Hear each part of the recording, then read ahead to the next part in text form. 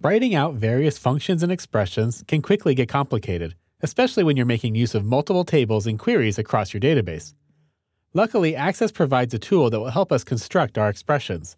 Let's go ahead and edit the customer lookup query that we created in the previous chapter. I'm going to right click on it and jump straight into Design View. Now, this particular query uses a criteria here that refers to a form. Let me right click on it and open up the zoom box.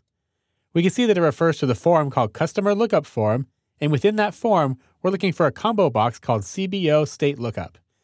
Now, previously, we had entered in this text manually. Let's take a look at another way that we could have done that. Let's go ahead and say OK here, and I'm actually going to press the Delete key to remove that from the criteria. Once again, I'm going to go ahead and right click here, and this time instead of choosing the zoom box, I'm going to choose this option here called Build. That'll open up what's called the Expression Builder. The Expression Builder will help us construct expressions that we can use in criteria and fields in our queries. It's separated into four main pieces. The upper window right up here is where the text will appear that'll get copied into the criteria when we're finished. This first window here on the left includes expression elements, and we can drill into various areas of this to pull out different elements. For instance, if I open up this plus button here next to functions, we'll see a listing of some built-in functions and functions that are inside of our database. If I click on built-in functions, then the second panel opens up. It's called expression categories. Here we have different categories of functions that we can pull from. For instance, array functions, or conversion functions, or date and time functions. Once we've selected a category, we have various expression values over here. These are the actual names of the functions that we can apply to our data.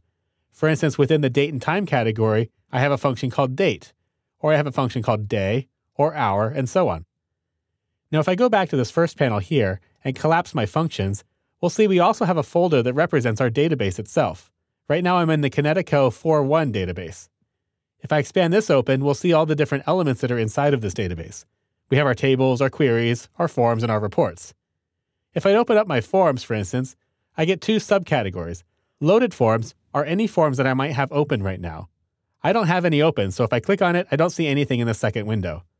All forms are going to be all of the forms in my database. Right now I have these two forms in my navigation pane, so if I expand this open, we'll see both of those forms here, Department Phone List and Customer Lookup Form. I'm going to go ahead and choose the Customer Lookup Form here.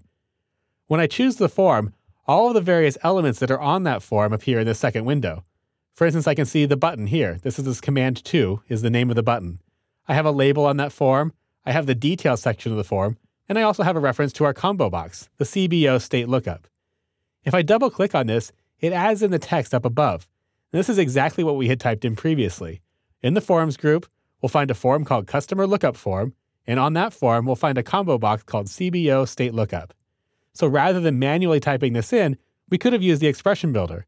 Just go into the database object, into forms, into all forms, into the specific form you're looking for, and then double click on that object to add it up above.